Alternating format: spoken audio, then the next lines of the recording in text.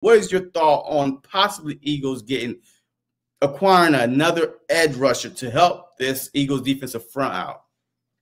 It's like two ways. You know, right now you're starting to actually see our young guys get into the football game.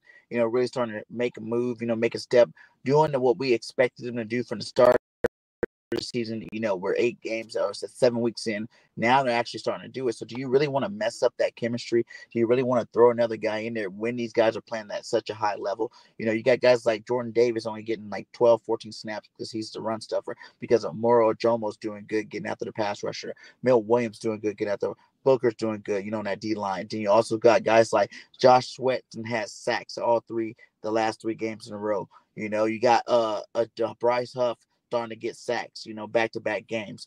You know, you got Jalen Carter doing his thing, you know, and then you also got Jalyx Hunt, who we all want to see come in. He got a strip sack. You know I'm saying? His first uh, sack was a strip sack. So it's like, I would love to see these guys develop and see if they can become the stars we expect them to be.